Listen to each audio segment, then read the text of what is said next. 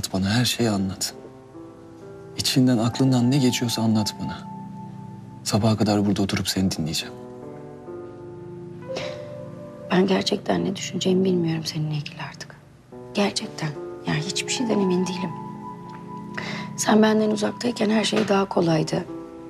Yani böyle seni görmediğim zamanlarda iyi kötü bir hayatım vardı. Devam ediyordum, idare ediyordum. Sonra Irmak'ın kolunda hayatıma girdin tekrar. O günden sonra yani bir yıldır bana yapmadığın şeyi bırakmadın. Bir sürü şey oldu. Ben gerçekten unutamıyorum hiçbirini. Şimdi de kalkmış evlenme teklif ediyorsun hiçbir şey yokmuş gibi. Ben ben gerçekten güvenemiyorum sana artık.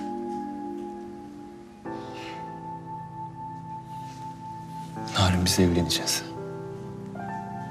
Her şeyi unutturacağım sana söz veriyorum. Bütün bu kuşkularını.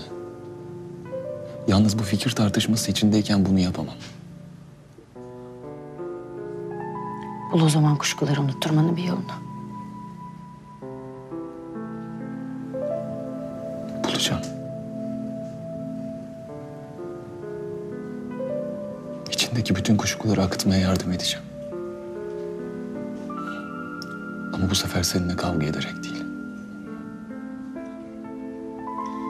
Bana iyi davranarak da geçmişi silemezsin. Narin kötü davranarak hiç silemem.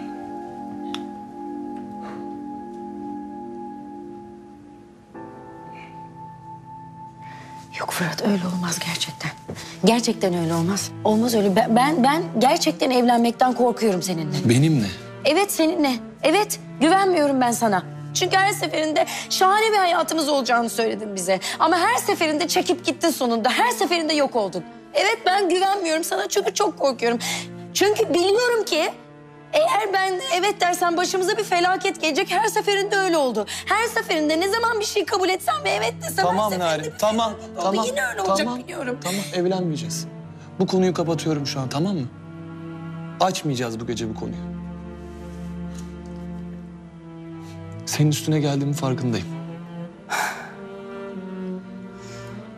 Belki yalnız kalmak sana iyi gelir.